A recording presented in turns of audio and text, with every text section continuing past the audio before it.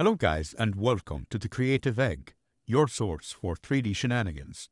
And today I'm super excited to show you how to 3D scan using Adobe Substance Sampler and later on we are going to clean it up inside of Blender. First of all, let's prepare the sculpture for 3D scanning. Make sure your subject is clean and evenly lit. This will help achieve a more accurate scan. Secondly, use manual camera settings to maintain consistent exposure throughout the shoot. Here are a few points to keep in mind. Low ISO, higher shutter speed, and control the white balance. Next, move around the subject as shown and take overlapping photos. Cover all sides, aim for 30 to 50 photos for a detailed model. Now let's process these photos into a 3D model using Adobe Substance Sampler. Open up Substance Sampler.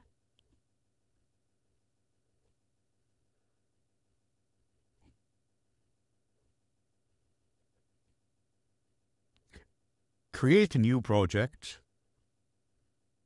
Click on the plus next to the 3D object. New 3D capture. Browse your files.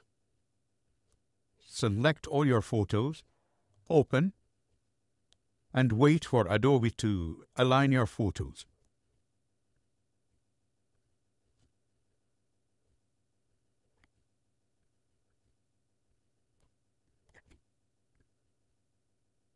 Submit. Alignment settings, keep it normal and default. And wait for the alignment.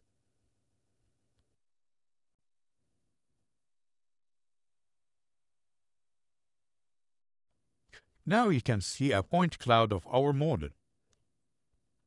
Over here, click on the I button to show the bounding box and adjust the bounding box as needed to ensure it captured the entire object. Once finished, click on Submit.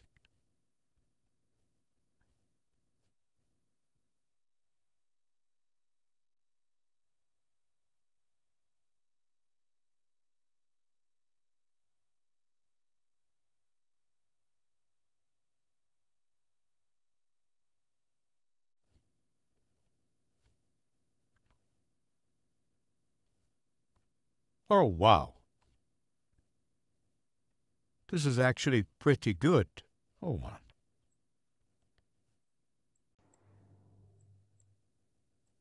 But if you are not satisfied with the result, keep playing with the target face count. For example, let me go for 75,000 and click Process a new version.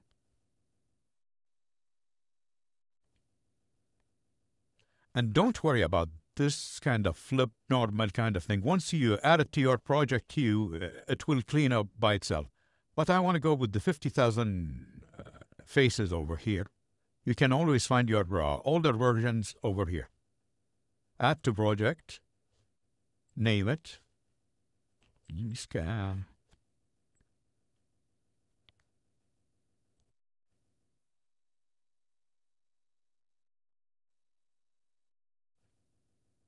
Now I want to add roughness map and I will export it to Blender for cleaning up and retopology. And we're to bake the, uh, the textures as well. Let me add channel switch. To go from base color to roughness.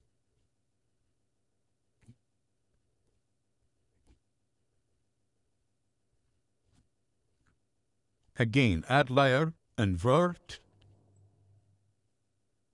input channel, roughness, add layer, last layer, uh, brightness and contrast.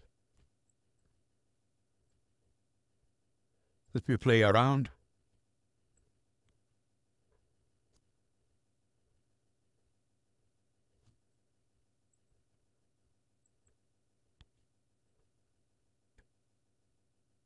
too shiny.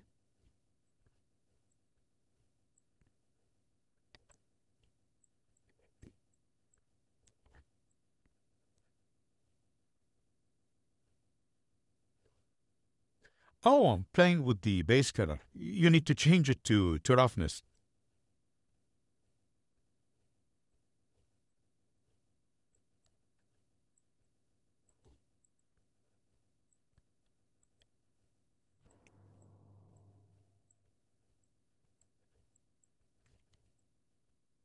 Oh yeah. Do you see the certain details over here? That's all you need to get that extra push of realism later on on your renders.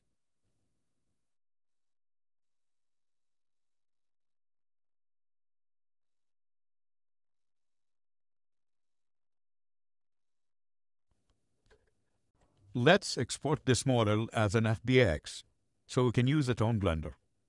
First of all, you want to go to the material, 2K. I only need the roughness. As an FBX, save your 3D scan on any file you'd like and click on Export.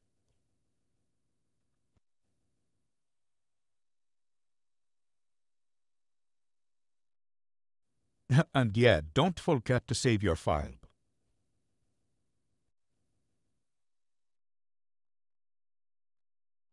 Open up Blender.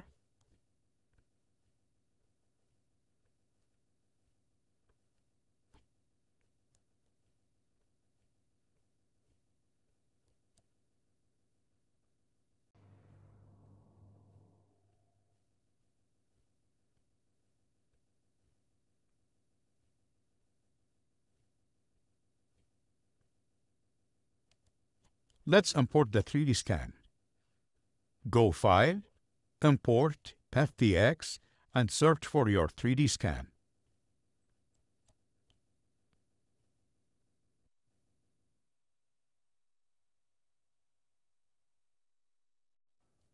Let's add an HDRI.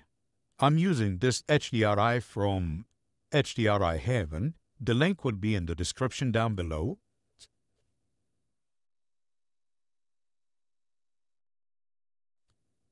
There is something wrong with the shading.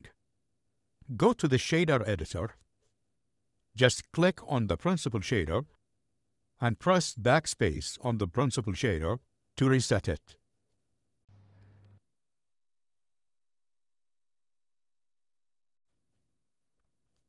Move the roughness texture to the roughness.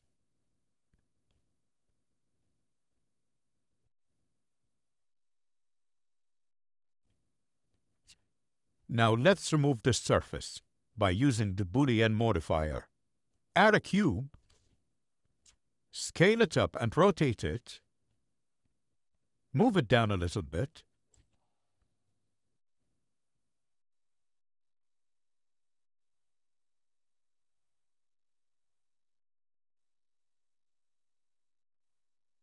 You know what? Let's remove some of the geometry on the 3D scan then we would use the Boolean modifier and the cube. Go to the wireframe and select the unwanted geometry.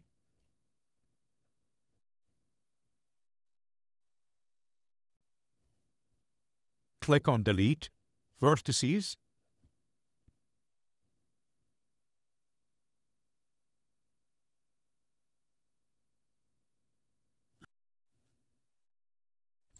Let's delete even more vertices to get a cleaner cut.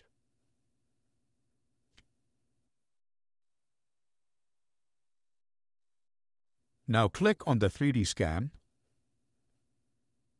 go to the modifier, search for Boolean modifier, use the eyedropper tool, and select the cube. Check this out. This is perfect right now. Applied the Boolean modifier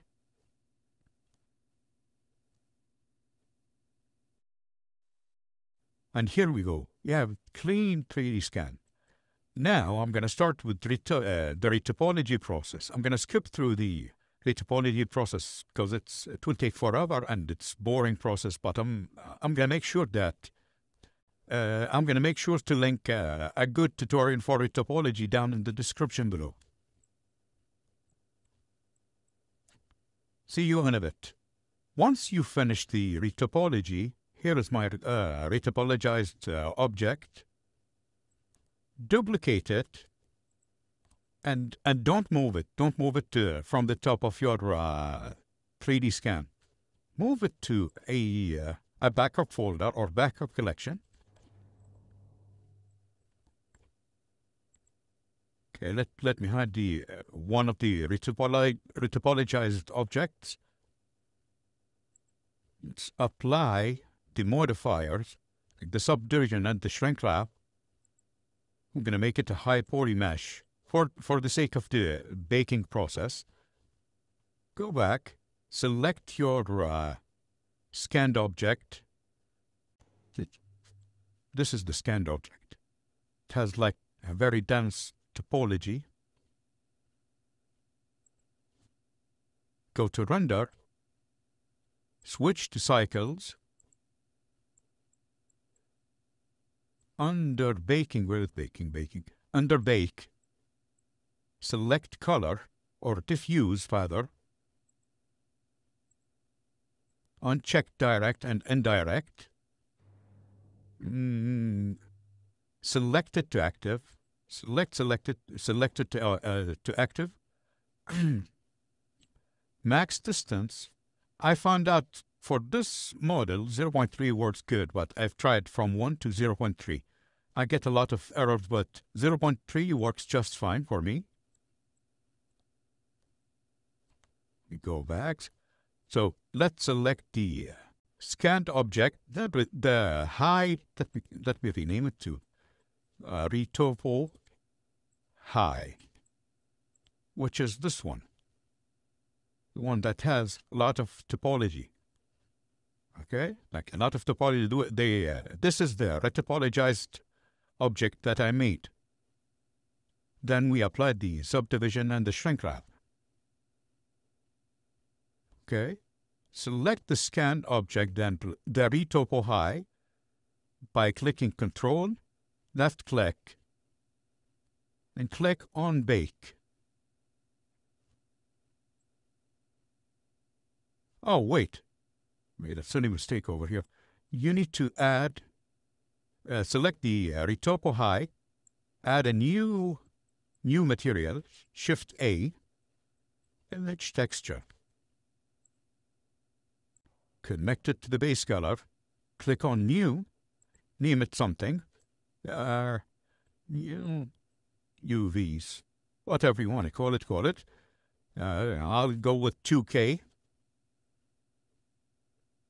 Then instead of instead of having it blank, I'm going to go with UV thread. You, you can go with whatever you want. Okay. We got too deep. why did I, did I change? Again, new, keep it untitled, whatever, turns to, it's to UV grid, new image. Okay, now you can see this is the UV. I am the, the object of the topology. Okay. Click on the image texture Okay, make sure to, to click on the uh, image texture, yeah? Go to render, bake, same settings. Click on the scan first. Let me, let me go. Local? Yeah, local. Then click on scan, control left click, the retopo high, and click on bake.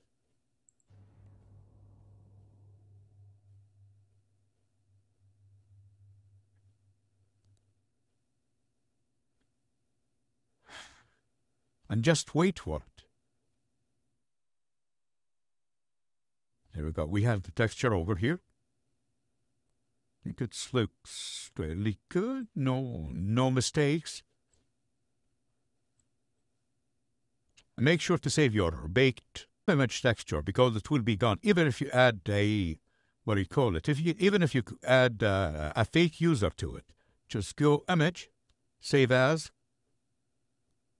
let me go desktop.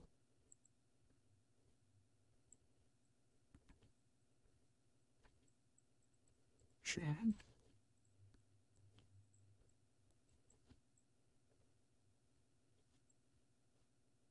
Sculpture color, okay. Go back here. Hide both of these objects. Let's go to the low poly mesh.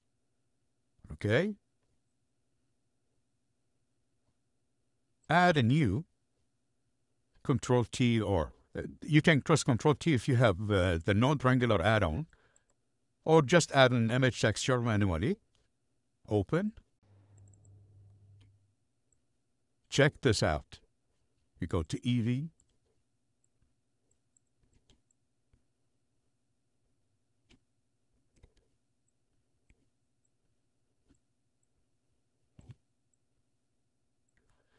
And you can still subdivide it.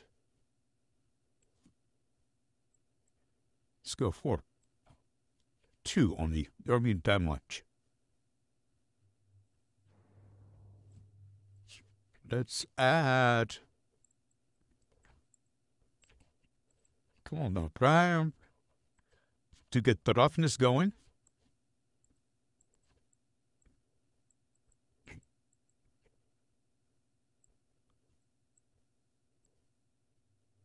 Strip it here.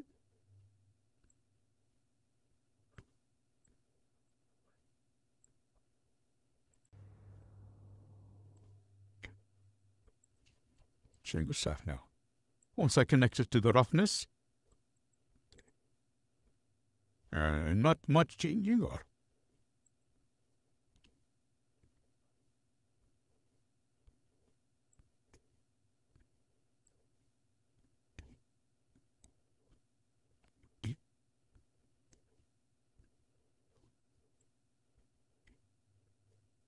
see the details over here.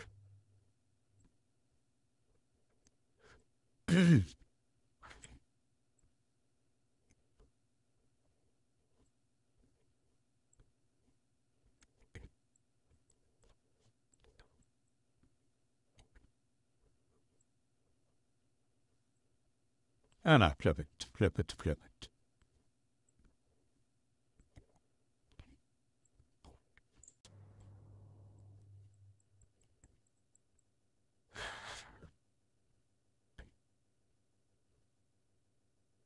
Apply subdivision of 1.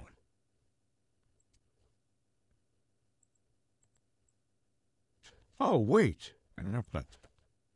Okay, now. No, no, no, no.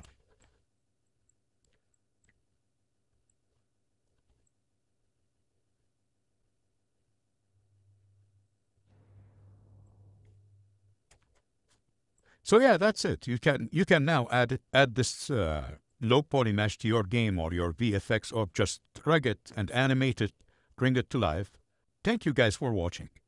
If you enjoyed this tutorial, give it a thumbs up and subscribe for more 3D shenanigans.